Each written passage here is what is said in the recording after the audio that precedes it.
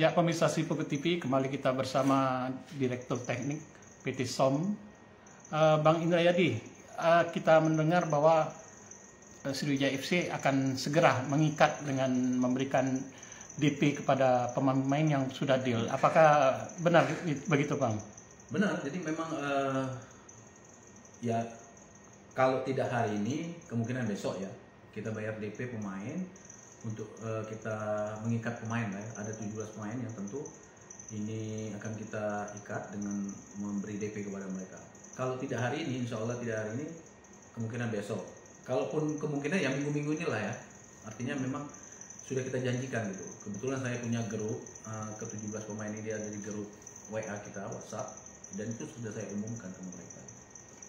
Dan mereka tidak uh, kemungkinan tidak akan mangkir lagi bang ya? Ya kalau DP sudah mereka terima ya artinya mereka memang sudah terikat hmm. dengan sendiri hmm. sih. Artinya memang sudah betul-betul pemain kita gitu. Ya. Artinya ini menjawab dari kecemasan ataupun kekhawatiran dari masyarakat pencinta sepak bola di Sumatera Selatan bahwa keseriusan dari manajemen Sriwijaya FC untuk mempersiapkan uh, tim Sriwijaya FC ke kompetisi Liga 2 tahun 2022 ini sudah bisa terjawabkan Bang ya?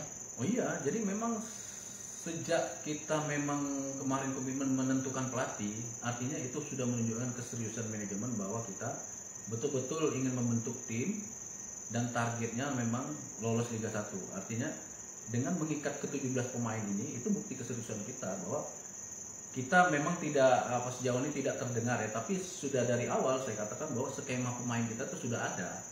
Itu menunjukkan keseriusan kita bahwa kita tidak bermain-main untuk membentuk tim ini target yang seperti tahun-tahun sebelumnya bahwa kita harus lolos Liga 1. Bang, ini dari 17 ini dari uh, lini mana aja nih, Bang?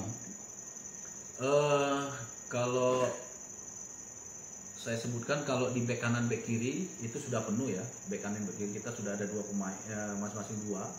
Di posisi itu ada Zakaria, ada Bayu Nugroho, ada Roni, ada Bima, khusus stopper ada Rahmat uh, ya kita masih butuh berapa stopper terus penjaga gawang ada Rudi sama Benny. Terus Yujunko di tengah ada Reza pemain kita pemain Sumatera Selatan ada Amir ada Fadil pemain lama. Di di kanan ada Hadis pemain kita yang lama juga. Di kiri ada Yogi ada Robi. Terus di depan ada Habibi. Terus ada Vivi Dwipan Vivi Dwipan ini masih karena dia Vivi Dwipan ini dia uh, anggota ya kita masih urus surat izin. Izin ya nah, terus kemungkinan kemungkinan kita akan ikat gay junior juga. Uh, selain Vivi Divan nggak ada bang yang dari anggota yang lain Uh, saya masih coba negosiasi ya. Ada Perry Perry Sistianto itu anggota juga dulu uh, terakhir main di Lamongan. Kalau nggak semen Padang ya terakhir ya? Yang ya. sempat kita mau ambil kemarin ya, ya? betul. Jadi pemain itu sudah saya kasih DP sebenarnya di tahun 2021 21. karena izin atasan tidak keluar ya dia memberikan DP nggak jadi kita ambil gitu. Bang kenapa uh, dua pemain ini Piwi Dipan sama Perry ini uh, menjadi target kita? Apa alasan kita bang? Kalau uh, Piwi memang striker ya Eh, menurut ini ini ini sebenarnya rekomendasi Kut kalau Piwi ya.